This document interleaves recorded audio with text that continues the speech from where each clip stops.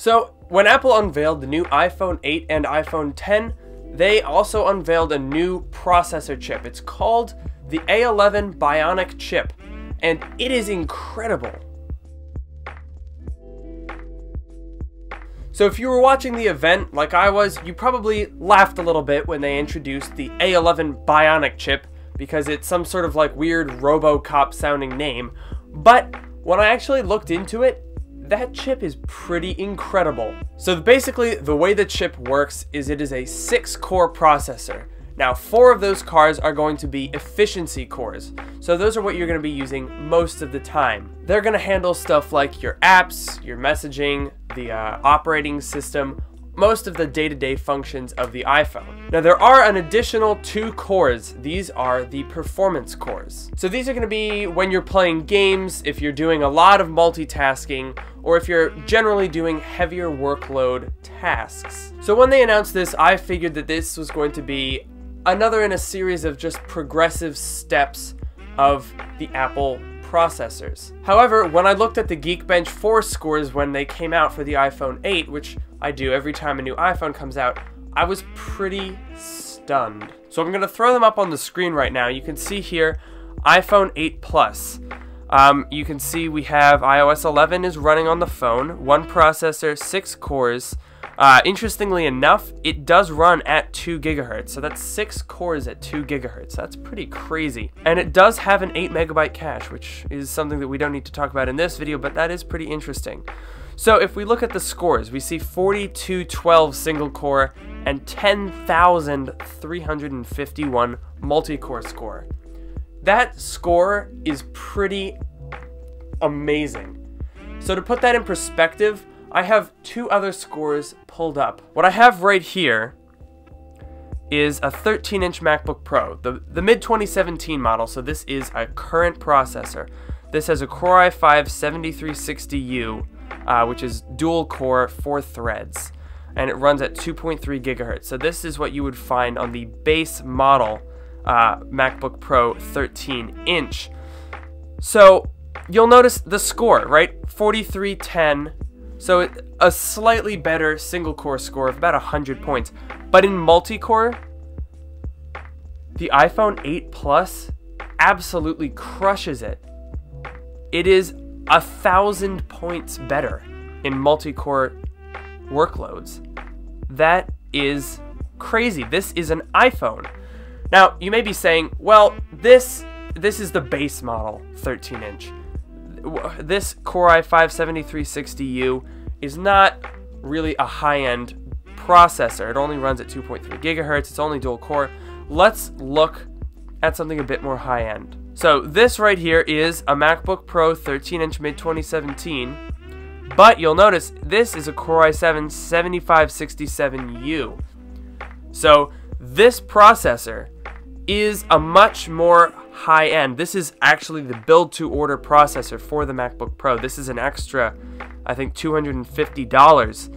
Uh, still dual core 4 threads, but that's pretty standard in um, U series Kaby Lake processors. There's a ton of these. Um, and, and, and let's look at the score. So, single core, a little bit better, a few hundred points better um, than the 4212, but that's because this is running at 3.5 gigahertz base frequency, which is pretty crazy. That's that's a very high clock speed. But if we look at the multi-core, the the iPhone wins.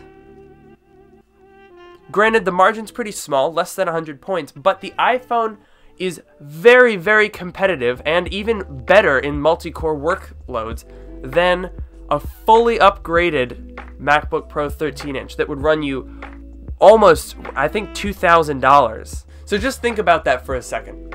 The iPhone 8 would beat out the absolute top of the line 13 inch MacBook Pro in, in a multi threaded workload, which is what really matters in, in this case. That is pretty astounding.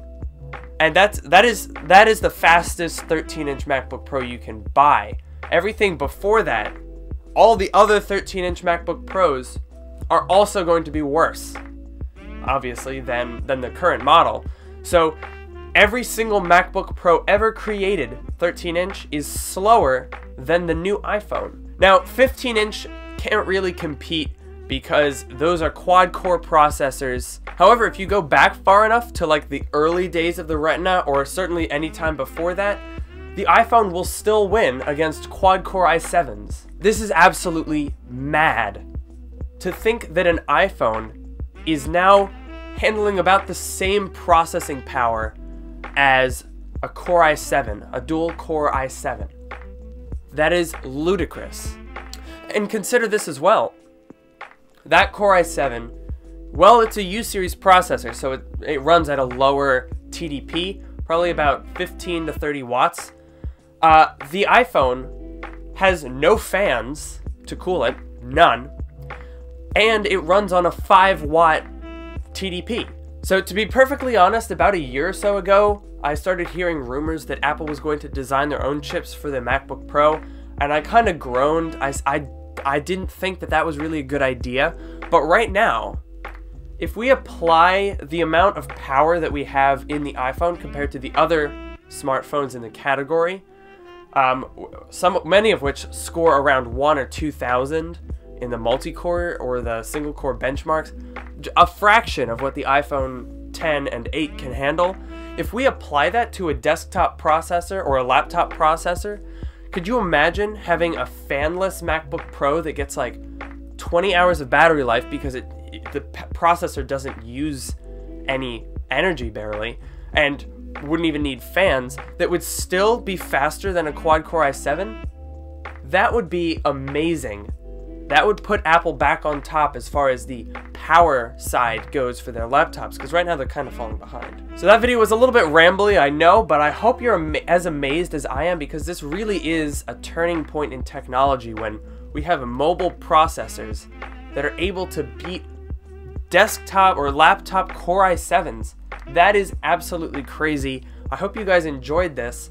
Um, if you want, go on go on Geekbench, browse the scores, see what other things you can find that the iPhone 8 and 10 would beat as far as the processor. Post those down in the comment below. I'm interested to see what other things can be tackled by these incredible processors. As usual, make sure you subscribe and check back for more videos. I'm going to be launching a new series that I think you're going to like. Stay tuned for that.